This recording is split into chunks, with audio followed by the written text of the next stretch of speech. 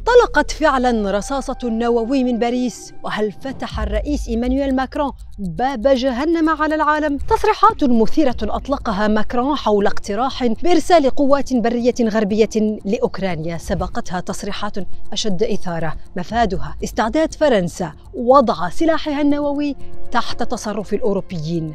ما اعتبر سابقة من نوعها. تصريحات لم يتجاوزها الكريملين هذه المرة. وعلق عليها تارة بالانتقاد الشديد وتارة بالسخرية поражать цели на их территории. И что все они придумывают сейчас, чем пугают весь мир, что все это реально грозит конфликтом с использованием ядерного оружия, а значит уничтожением цивилизации. Они чего этого не понимают, что ли? Работа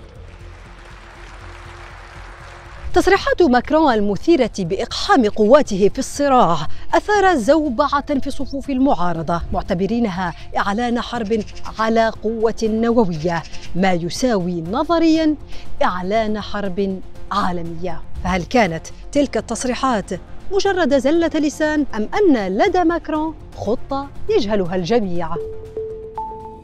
thank you